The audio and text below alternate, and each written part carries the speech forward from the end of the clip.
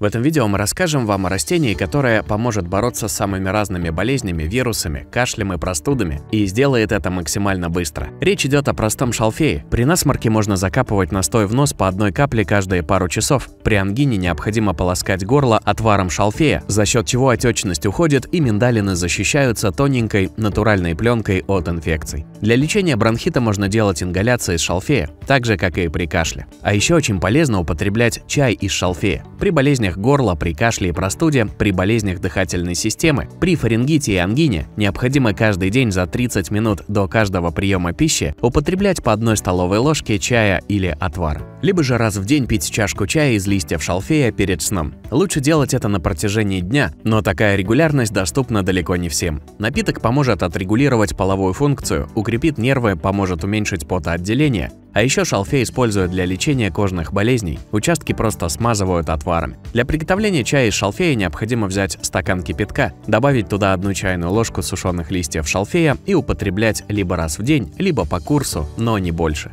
Приобретая товары по нашим ссылкам в магазинах наших партнеров, вы получаете лучшую цену и помогаете развитию канала. Переходите по ссылкам в описании и заказывайте все необходимое. Стараемся и работаем для вас.